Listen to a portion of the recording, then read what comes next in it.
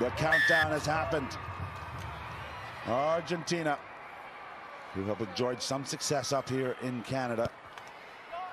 Kickoff in the light jerseys. That kick is high and hanging, but a big right hand came in and knocked it back, and the all-crucial possession right in front of all the school kids on the far side, and they love that volleyball action in the air.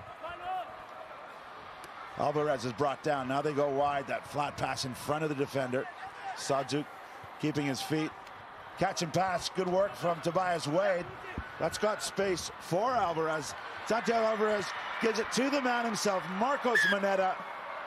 Argentina on the board. And that young man was splendid, has been splendid really all season for Argentina. You see right off the bat, they retain their kickoff, and that's where it all starts for Argentina. Little, little serpentine swivel run there, and then just easy, easy setup there for Moneta to get in. Well, we mentioned that Argentinians like it here in Vancouver. They ended a 13-year drought with a very emotional victory here just before COVID. They've since won in Hamilton and lost the final last weekend down in Los Angeles. So are a team in going in the right direction and one of the 7,000 school kids who have got a Friday morning off school to come and support international sport on the HSBC World Series. That's how we inspire them, Phaedra. Let them watch some of this great action. They got to watch the women earlier on this morning. First time in the big stadium. And now it's the men. Japan. Again, always lots of possession and very comfortable on the ball. This time, it's been poached at the breakdown. Oh. Great technique from Argentina. Circling across, it's Pellandini. He flips it out to Gonzalez. Gonzalez breaks the tackle, lifts the heels. Luciano Gonzalez for Argentina. And with biceps that big, Gareth, I, I'd let him score as well. But we know Argentina as being, you know, one of the strongest teams in this series to score off a transitional ball. They turned it over, and then they just moved it to the right side of the field to the man that's not also that's not only strong but quite slippery in the tackle piece. Yeah, only 16 tries in Los Angeles last week. They've already got two in the first two and a half minutes. Conversion is added. There's Gonzalez. 103 tries. Starting way back in the Cake Tin in Wellington in 2017. Great memories of that event as we are in our 200th HSBC World Series event. So many great hosts, so many great memories around the world where the World Series has taken us. Argentina, ball in one hand from Rodrigo Isgro. Doesn't pay off there as it's spilled by Pellandini. Yeah, he's a man who makes few mistakes, but definitely unhappy about that one. Plenty of time to redeem. ball to hook, okay? Oh, wait, he had an outstanding performance yeah. last weekend. Isgro making the LA Dream Team along with teammate Gonzalez. Spoke about earlier. Crouch. Last try score. Bind. Set. Referee Keane lets the scrum pack down. Again, more pressure on the Japanese. Gets possession. Sadjuk right through the middle. Great tackle across, but tons of help on hand. Tobias Wade pops up. The 23-year-old gets the third try for Argentina. Yeah, and that's just simple work by Argentina. Again, turning that ball over, making good of it, keeping it alive. However they could, and little offload, pop pass makes just good work for Wade. Great work from Sadjuk, keeping his, using his size to suck in those two defenders and getting his hands free.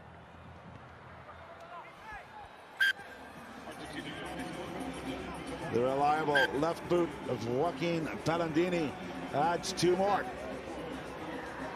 Speaking of Barca.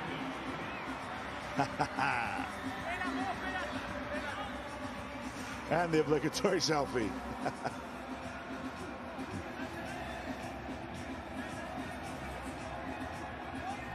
Massive big screen here in the middle of BC Place, so the kids are seeing themselves up there. Again, a contact in the air. Surely that's not legal, but the referee's going to play on, and they've won the penalty through the breakdown. Japan, as we said, they're called the Brave Blossoms for a reason. They fight right to the death. Those two wins last week in Los Angeles, as we see Yakushiji, the good run, came after trailing at the half. They're trailing right now in the first half, 19 points to nil, looking for their first score. Good width through Koga. The power of the big man, Karevi. Comfortable with that ball in the big right mitt. Nice cut off his right foot. Stunning work from Ishida as he loops around and slices through the Argentinian defense. Well, my God, Japan needs the ball in hand more. They, this is actually their first passage of play with ball, and they make so good of it. Just working the ball splendidly down both sides of the field, and then Ishida comes in with some tricky footwork to just manipulate that Argentinian defense. Superb effort by Japan. Conversion to come. Ooh, badly missed, and I don't know if it's going to cross the goal line. So, not best work, but they can regroup. That's a positive end to this half, and they'll be putting the restart back into play with just 20 seconds to play. Yeah, and that's a tough stat for Japan. Yeah, I mean, the, not winning a, a game since 19 is it's rough. And a very quick whistle. Japan didn't restart the ball within the 30 seconds required. I'm not sure there wasn't a ball available for a while. It's maybe a bit harsh on the Japanese, but it will be free kick at the half for Argentina, and they're going to choose a scrum. This is a very difficult platform to defend if you're Japan. Yes. Okay. Yeah. Midfield scrum, options on both sides of the ball for Argentina. Argentina, as you can see, that silver from last week going up Set. from fifth into third. Very positive for them when it talks to Olympic qualification, but also for the likes of Uruguay and Chile, who know that if they pre-qualify to their work on the HSBC World Series in the top four position, they won't be in the regional qualifier, and that will effectively open up uh, another spot for the South Americans. So they're playing for the whole continent here, similar to what the USA Eagles do for us up here in North America. If they can go top four, it opens things up. The stop and go. Nice backing up from the Japanese.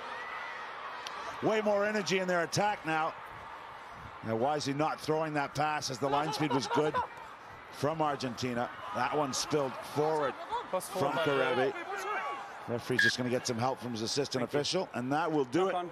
for the half. The knock on Half-time. will end it. Frantic stuff, four tries, but three of them are to.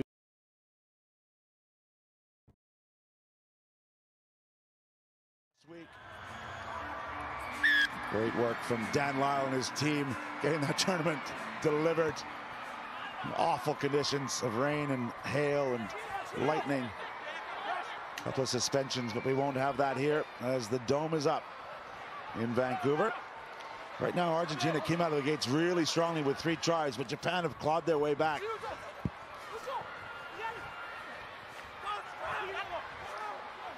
Gonzalez gets that one back just barely.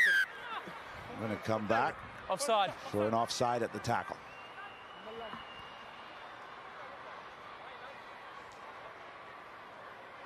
Yeah, Argentina want to look to be a bit more disciplined this half. They had three penalties in that first half. They also want to clean up that defense a bit with a little bit of a disappointing 50% tackle rate coming out of the first Time half. off, please. That's what opened the door for Japan to score. Time off. Hold the thrower. Hold the thrower. Step in front of the thrower.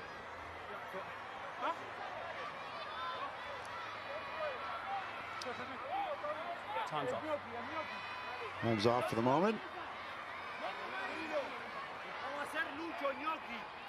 As we mentioned, a Oh, yeah, he's three-day gone. format here in Vancouver. Two games a day for these teams. Time on, please. You have traveled up the coast on a bit of a short break, but it's in the same time zone, so clear welfare.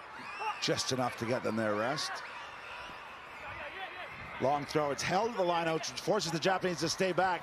And around the corner, steaming away. This is Wade. He's already got a try, and that one's bobbled. Tobias Wade, the 23-year-old, has really stepped up here. Frustration there for Isgro. Yeah, that's its second error this game, and Time off, please. really unforced. The line speed of Japan wasn't so overwhelming that Argentina couldn't take their time to really get the ball out. So they really need to take a deep breath here and regroup. Time on. Crouch.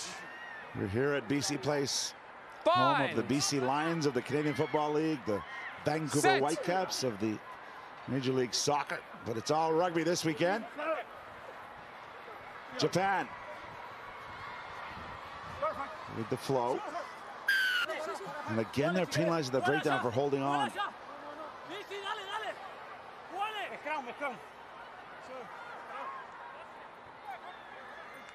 And they've chosen the scrum.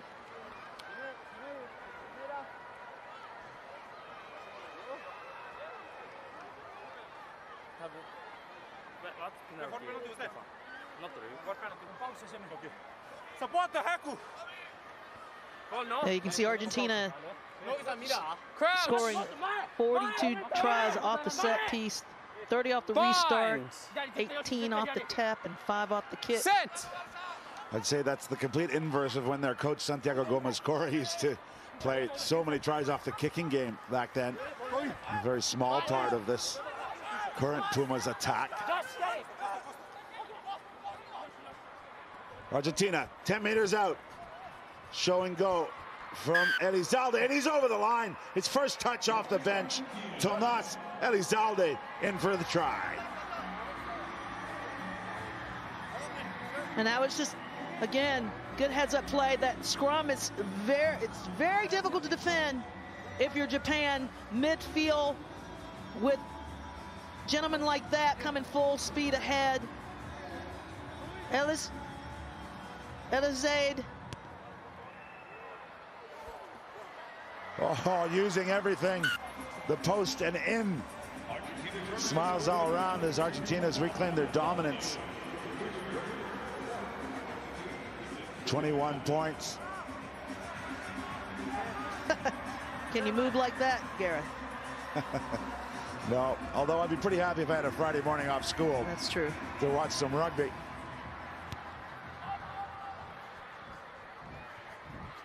This is, of course, education, isn't it, Phaedra? Real education. well gathered there by Japan through Ishida. It's their best kickoff receipt in a while. Running into white jerseys in the midfield is Fukushi.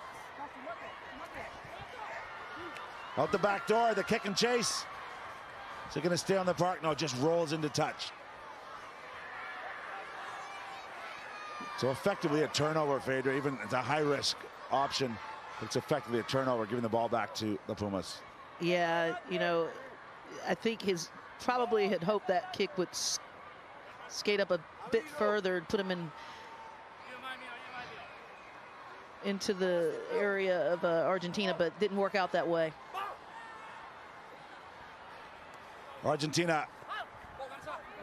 Great line out. The first pass isn't good. Trying to get close to that gain line. Hitting the flat ball.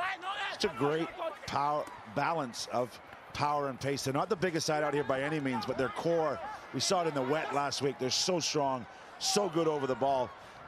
Great recognition, all playing with their heads up there as we see a wide one received by Augustin Fraga. Again, vision, realizing the Japanese are taking away the midfield. They go back in field, and that's exactly what you want to do with your line speed.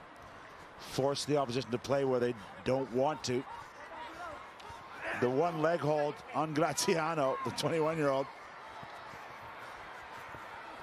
Schulz, Herman Schulz, the veteran. Now the flat pass. I think that's gone off a blue hand. This could be trouble. And we'll have a look at the referee. Yeah, he's gone to his pocket. That'll be two minutes in the sin bin. Yeah, so unfortunate for Japan, but just a good game of keep away by Argentina here. You put that hand up. You always have to be aware of where your hands are, especially when you're in the proximity of that ball. And if you're going for the ball, please, by all means, retain it. Yeah, it's instinct, isn't it? But zero tolerance for that. Okidata will spend some time in the bin. If he, if he gets it right and it sticks, then he's, he's good to go, but it's a high risk. And the most experienced sevens players will, I guess, try and manage that desire to get the big play and just keep their hands in. So just outside the Japanese 22. Former World Rugby Player of the Year running across the face. Now they get it wide. A looping pass. Good teamwork. Franco Rossetto benefits on the outside for Argentina. Yeah, that was pretty simple mathematics by Argentina with the seven on six overload. It's all about getting it out, shifting it, letting the ball do the work through the pass. It was a great team try.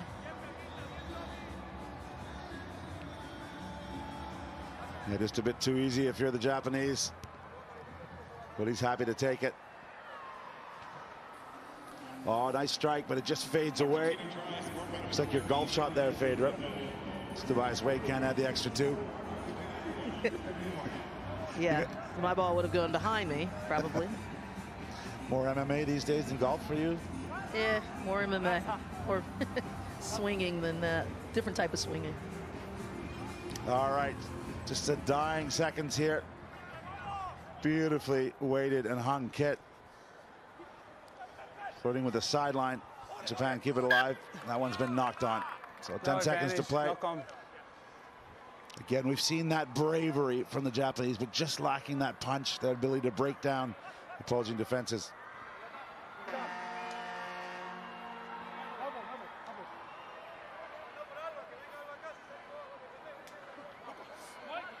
Let's go. Let's go. Yes.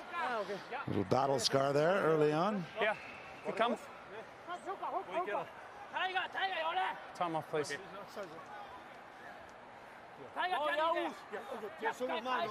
Time on. So last play of the half, barring a penalty. Japan put in. Crouch. Through Noguchi. Bind. A little bit of pushing and shoving, but a gamesmanship from the scrum halves. Noguchi gets it away. Very narrow attack. Looking to go on the outside. Other fresh legs of Ishida off the bench.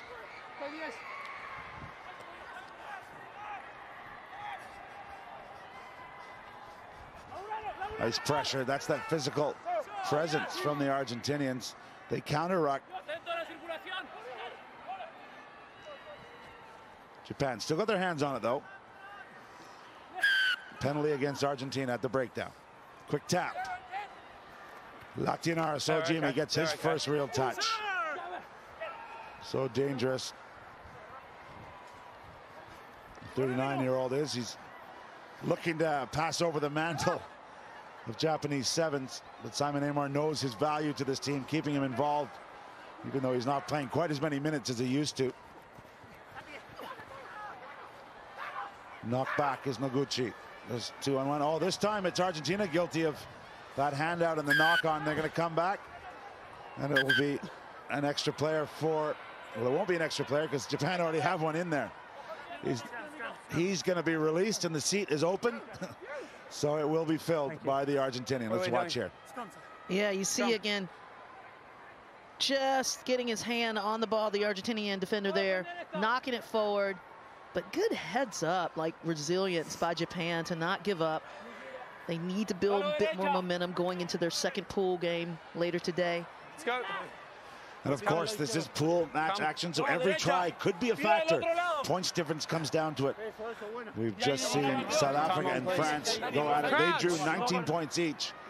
So both sides here. Bind. Japan will want to score one, and Argentina won't want to concede one in the dying minutes. Time off, please. Time off. We're going to reset it. Again, another long match here, okay? Phaedra. Yes. Yeah, probably not affecting them so much right now, but come tomorrow and Sunday could play Crouch. play a factor. Every second counts. Well, Rossetto getting a rest, but not the one he really wants in the naughty chair, Set. as we say.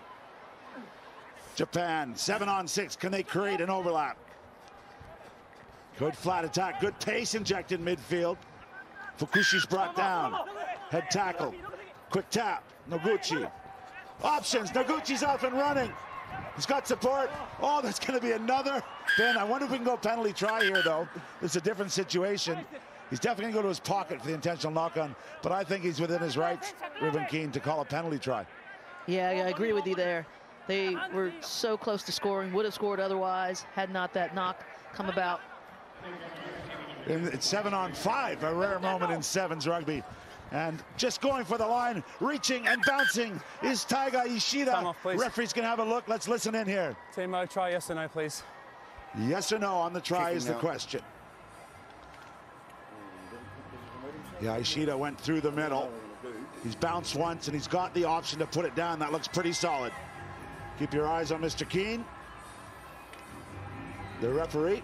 Ruben, you may award the try. Ruben, you may award the try. I don't know if Ruben can hear our TMO.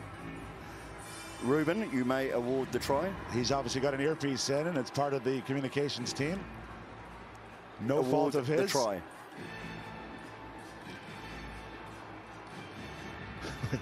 Everyone in the stadium, including myself, Do you guys he's- hear anything? he can't hear it. So Okay, I'm, I'm happy with that on screen.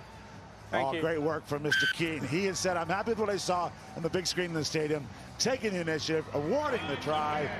Mr. O'Brien is not required.